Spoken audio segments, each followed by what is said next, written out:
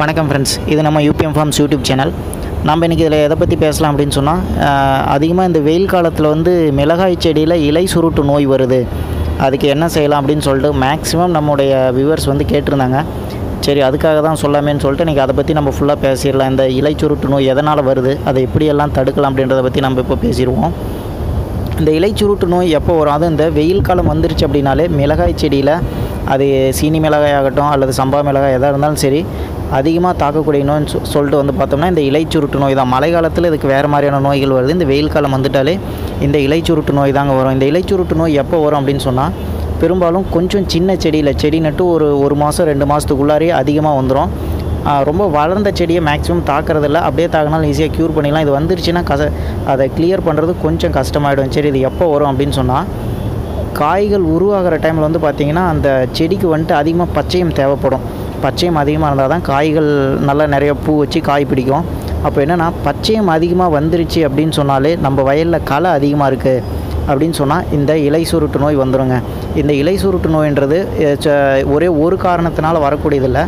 இலை சுருட்டுலே ரெண்டு வகை இருக்குது இப்போ நம்ம எல்லாம் என்ன பண்ணுவாங்கன்னா நேராக கடைக்கு போயிட்டு இந்த மாதிரி மிளகா செடிக்கு இலை சுருட்டு நோய் வந்துருச்சுங்க மருந்து கொடுங்கன்னா அவங்க ஏதோ ஒரு மருந்து எடுத்து கொடுத்துருவாங்க. எதனால் அந்த இலை சுருட்டு நோய் வந்திருக்கு அப்படின்னு சொல்லி நம்ம தெளிவாக தெரிஞ்சுட்டு போய் மருந்து கேட்டு அதை வாங்கி நம்ம ஸ்ப்ரே பண்ணால் மட்டும்தான் இதிலேருந்து எஸ்கேப் ஆக முடியும். அந்த நோயை கண்ட்ரோல் பண்ண முடியும். சரி இந்த இலை சுருட்டு நோய் எதனாலலாம் வரும் அப்படின்னு சொன்னால் இலைப்பேன் அப்படின்னு சொல்லிட்டு ஒன்று இருக்குங்க. இந்த இலைப்பேன் என்ன பண்ணும் அப்படின்னு சொன்னால் இது நம்ம இலை சு இந்த வந்திருக்க இலை சுருட்டு நோய் வந்து இலைப்பேனால் தான் வந்திருக்கு அப்படின்றத நம்ம எப்படி கண்டுபிடிக்கலாம் அப்படின்னா ஒருவேளை நம்மளுடைய மிளகாய் செடியில் இலைகள் வந்து மேல் புறமாக சுருண்டுக்கிட்டு வருது அப்படின்னு சொன்னால் அது வந்து இலைப்பேன் வந்திருக்கு. அதனால தான் மிளகாய் செடியில் அந்த சுருள் நோய் வந்திருக்குன்னு அர்த்தம். சப்போஸ் ஒருவேளை இலைகள் வந்து கீழ்ப்புறமாக சுருண்டுட்டு போகுது அப்படின்னு சொன்னால் அது வந்து செம்பேன் தாக்குதல். சரிங்களா? ரெண்டுத்துக்கும் நிறையவே வித்தியாசம் இருக்குது கண்ட்ரோல் பண்ணுற விதத்துலேயும் நிறைய வித்தியாசம் இருக்குது நாம் வாட்டுக்கு போய் மருந்து கடையில் இந்த மாதிரி எங்களுடைய மிளகாய் செடிக்கு இலை சுருட்டு நோய் வந்துருச்சுன்னா அவர் ஏதோ ஒரு மருந்து தான் எடுத்து கொடுப்பாரு. வந்து அடிச்சுட்டு ஐயோ அதுக்கப்புறம் மிளகாய் செடி சரியாகலை ஏமாற்றிட்டாங்க அப்படின்னு சொல்லிட்டுலாம் நம்ம சொல்லிட்டு இருக்கக்கூடாது நம்ம ஃபஸ்ட்டு நம்ம செடிக்கு என்ன நோய் வந்திருக்கு அப்படின்றத நம்ம அனுபவத்தில் தெரிஞ்சுக்கணும். ஒருவேளை நம்முடைய மிளகாய் செடியில் இலை மேல் நோக்கி சுருண்டுக்கிட்டு வருது அப்படின்னு சொன்னால் அது இலைப்பேனால் வந்திருக்க பாதிப்பு. சப்போஸ் ஒருவேளை அந்த மிளகாய் செடியில் இலை கீழ்ப்புறமாக சுருண்டுட்டு போகுது அப்படின்னு சொன்னால் அது வந்து செம்பேனால் வந்திருக்கு அப்படின்னு சொல்லுவோம். சரிங்களா? நம்ம சைடு மேக்ஸிமம் இதை வந்து பார்த்திங்கன்னா எலிக்காது நோய் அப்படின்னு ரொம்ப ஈஸியாக சொல்லுவாங்க. இந்த இலை சுருட்டு நோய் வந்துருச்சு அப்படின்னா என்னெல்லாம் பண்ணலாம்? சப்போஸ் வந்திருக்க இலை சுருட்டு நோய் வந்து செ செம்பேன் வந்து பிறகு பேசலாம். இது இலைப்பேனால் வந்திருக்கு அப்படின்னு சொல்லிட்டோம்னா இந்த இலைப்பேனால் இலை சுருட்டு நோய் வந்துருச்சுன்னா கண்ட்ரோல் பண்ணுறது ரொம்ப ஈஸி ஒன்றும் அந்தளவுக்குலாம் நம்ம ரிஸ்க் எடுத்துக்க தேவையில்லை. வேப்ப எண்ணெய் கரைசல் அல்லது வேப்பம் கொட்டை கரைசலுங்க. வேப்ப எண்ணெய் கரைசல் அல்லது வேப்பங்கொட்டை கரைசல் ஸ்ப்ரே பண்ணாமா போதும். இந்த இலைப்பேன் தொல்லை அழகாக க்யூர் ஆகிடும் இன்னொன்று இதுக்கு த்ரீ ஜி கரைசலும் யூஸ் பண்ணலாம். த்ரீ ஜி கரைசல் செய்கிறது எப்படின்னு இன்னைக்கு கூட ஒருத்தர் கமெண்ட் பண்ணியிருந்தார். அதை பற்றி பேசினா அதில் ஒரு பத்து நிமிஷம் ஆகிடும் அதனால் நம்ம சரி அடுத்த தனியாக ஒரு வீடியோ போட்டுக்கலாம் அப்படின்னு சொல்லி விட்டாச்சு. த்ரீ ஜி கரைசல் செய்கிறது எப்படி நம்ம பிறகு பேசுவோம். சரிங்களா அந்த வேப்ப எண்ணெய் கரைசல் அல்லது வேப்பம் கொட்டை கரைசல் வந்து அழகாக போட்டு ஸ்ப்ரே பண்ணோம்னு சொன்னால் இந்த இலை பேனினுடைய தொல்லை க்யூர் ஆகிடும் இது வந்து இலை மேல் நோக்கி சுருண்டுட்டு வந்தால் அதற்கான தீர்வு தான் இது. சப்போஸ் ஒருவேளை என்னுடைய செடிகளில் இந்த மிளகாய் செடியில் இலைகள் வந்து கீழ் நோக்கி சுருண்டுட்டு போகுது அப்படின்னு சொன்னால் செம்பேன் தாக்குதல் அப்படின்னு நம்ம சொல்லியாச்சு. இந்த செம்பேன் தாக்குதல் வந்துருச்சுன்னு சொன்னால் கண்ட்ரோல் பண்ணுறது ரொம்பவுமே கஷ்டம். ஒரு செடியில் ஒன்று ரெண்டு இலையில் இப்போ தாங்க வரதுக்கு ஆரம்பிக்குது அப்படின்னு சொன்னால் ஈஸியாக கண்ட்ரோல் பண்ணிடலாம். இல்லை பாதி இலைக்கு மேலே போயிடுச்சு அப்படின்னு சொன்னால் ரொம்பவுமே நம்ம அது கூட போராட வேண்டிதான் இருக்கும். சரி அதுக்கு நம்ம என்ன பண்ணலாம் அப்படின்னு சொன்னால் கெமிக்கல் முறையில் பண்ணுறவங்க வந்து அசிபேட் அப்படின்ற மருந்து வந்து யூஸ் பண்ணுவாங்கங்க. சப்போஸ் இப்போ நீங்கள் ஒரு மருந்து கடையில் போய் கேட்குறீங்கன்னா செம்பேன் தாக்குதல் அதிகமாக இருக்குன்னு சொன்னால் மேக்ஸிமம் நம்ம சைடு இந்த அசிபேட் அப்படின்ற மருந்து தான் தராங்க. ஒரு லிட்டர் பச்சை தண்ணிக்கு ரெண்டு மில்லி இது இந்த அசிபேட்டுன்ற மருந்து கலந்து ஸ்ப்ரே பண்ணோம்.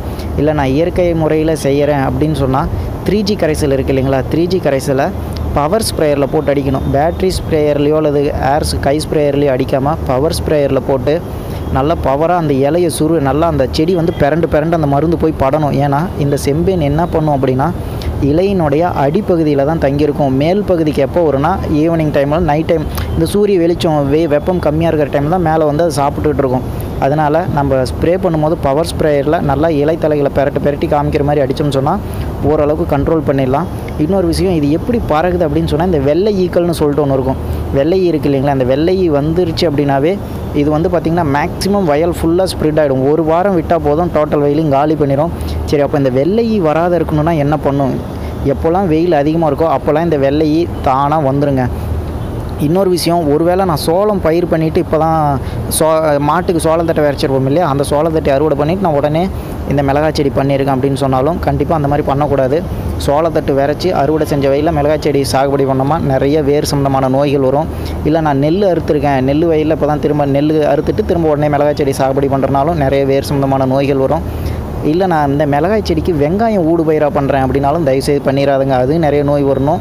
சாரி நிறைய நோய் வரும்.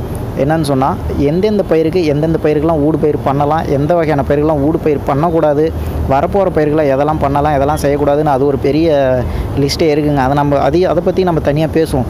சரி இப்போது இந்த வெள்ளை ஈக்களை கண்ட்ரோல் பண்ணுறதுக்கு என்ன பண்ணலாம் அப்படின்னா ஃபஸ்ட்டு நம்ம மிளகா சாகுபடி செய்கிறது ஒரு வயலை தேர்ந்தெடுக்கிறோம் அப்படின்னா அந்த வயலினுடைய வரப்பு ஓரங்களில் கொய்யா மரம் இருக்கக்கூடாது மெயினாக கொய்யா மரமோ பப்பாளி மரமோ இருந்துச்சு அந்த வரப்பு ஓரங்கள் அப்படின்னு சொன்னால் நீங்களே பார்த்துருப்பீங்க. கொய்யா மரம் பப்பாளி மரம் எங்கே இருக்கோ அந்த இடத்துல தான் இந்த வெள்ளை ஈக்கள் ரொம்ப அதிகமாக இருக்கும். அதிகமாக கொய்யா மர இலையிலே தான் அதிகமாக இது வந்து பார்த்திங்கன்னா இந்த இனப்பெருக்கம் செய்கிறது அதெல்லாம் செஞ்சிட்ருக்கோம் அப்போ கொய்யா மரமோ அல்லது பப்பாளி மரமோ இருக்கக்கூடிய அதில் பக்கத்தில் இருக்கக்கூடிய ஒரு இடத்துல இந்த மிளகாய் செடி சாகுபடி செஞ்சோமோ ரொம்ப கவனமாக இருக்கணும். அந்த மரத்தை நம்ம டெய்லி பார்க்கணும். அதில் ஒன்று ரெண்டு வெள்ளை வந்திருந்தா கூட உடனே அதுக்கு மருந்து அடித்து க்யூர் பண்ணிட்டா தான் வழி உண்டு. இந்த வெள்ளை என்ன பண்ணுன்னா ஒரு மிளகாய் செடியில் உட்காந்துட்டு அப்படியே ஓடி போய் அடுத்த மிளகாய் செடியில் உட்காரும். அப்போ அதனுடைய கால்களிலேயோ அல்லது அந்த ரெக்கையில் என்ன பண்ணுன்னா இந்த செம்பேன் அப்படியே ஒட்டிகிட்டு போயிட்டு அடுத்த செடியில் உட்காந்துக்கும். இது என்ன ஒன்றுனா நம்ம வயலில் இருக்கணும்ன்ட்டு இல்லைங்க. பக்கத்தில் ஒரு மூணு நாலு வயல் தள்ளி இருந்தால் கூட அங்கேருந்து காற்று வீசுகிறப்ப அந்த காற்று வாட்டத்துலேயே அந்த வெள்ளை வந்து பறந்து நம்ம வயலுக்கு வந்துருச்சுன்னு சொன்னால் கூட முடிஞ்ச அந்த வயலேருந்து நோய் அப்படியே கொண்டு வந்து நம்ம வயலில் ஸ்ப்ரே இது ஸ்ப்ரெட் பண்ணிடும் அதனால் முடிஞ்ச அளவுக்கு வெள்ளையை வராமல் கண்ட்ரோல் பண்ணிட்டாவே இது ரெண்டையுமே கண்ட்ரோல் பண்ணிடலாம். அதே மாதிரி வேப்ப எண்ணெய் ஸ்ப்ரே பண்ணும்போது வெறும்னே வெறும் தண்ணியில் வேப்ப எண்ணெய் கரைக்கிறது ரொம்ப கஷ்டம். அதுக்கு என்ன பண்ணலான்னா சோப்பு காதி சோப்புன்னு சொல்லிட்டு வாங்கிங்க கடையில் விற்கிற இந்த துணி துவைக்கிற சோப்பு அது யூஸ் ஆகாது. ஏன்னு சொன்னால் அதில் நிறைய கெமிக்கல் எல்லாம் ஆட் பண்ணுறாங்க காதி சோப்புன்னு சொல்லி இந்த ஒரு சில இடத்துலலாம் பார்த்திங்கன்னா இயற்கை இதெல்லாம் இருக்குது இல்லைங்களா? இயற்கை பொருள்லாம் சேல் பண்ணுறாங்க இல்லைங்களா? அங்கே கேட்டிங்கன்னா தருவாங்க. அதில் வந்து என்ன பண்ணுறீங்கன்னா ஒரு பத்து லிட்டர் தண்ணிக்கு ஒரு இருபத்தஞ்சி கிராம் காதி சோப்புன்ற அளவு நல்லா முத நாள் நைட்டே ஊற போட்டுட்டு அந்த தண்ணியில் வேப்ப எண்ணெயை வச்சு கலக்குனீங்க அப்படின்னு சொன்னால் நல்லா கலந்துரும். பிறகு ஸ்ப்ரே பண்ணிங்கன்னா அது அப்படியே செடியில் ஒட்டிக்கும். அந்த சோப்பு நுரை இருக்கு இல்லைங்களா அதனோட சேர்ந்து இந்த வேப்பெனையும் செடியில் அப்படியே ஒட்டிக்கும். அப்போ என்னென்னா அந்த வெள்ளை பூச்சிகளும் செத்துரும். அதனோட சேர்ந்து இலைப்பேனும் செத்துரும். வே அந்த வெள்ளை ஈக்களை நம்ம கண்ட்ரோல் பண்ணிட்டோம்னு சொன்னாலே இந்த செம்பேனை ஓரளவு கண்ட்ரோல் பண்ணிடலாம். அதே மாதிரி த்ரீ ஜி கரைசல் ஸ்ப்ரே பண்ணுறேன் அப்படின்னு சொன்னாலும் கொஞ்சம் லேசாக இந்த சோப்பு சேர்த்துங்க. ஏன்னா இது இது வந்து பார்த்திங்கன்னா ஒரு ஒட்டும் திரவம். நம்ம அடிக்கக்கூடிய மருந்து வந்து வெளியில் போகாமல் கரெக்டாக அந்த இலையிலே ஒட்டிகிட்டு இருக்க ஒட்டிகிட்டு இருக்க மாதிரி பார்த்துங்க. அப்போ என்னென்னா நோய்கள் தாக்கம் நம்ம ஈஸியாக கண்ட்ரோல் பண்ணிடலாம்.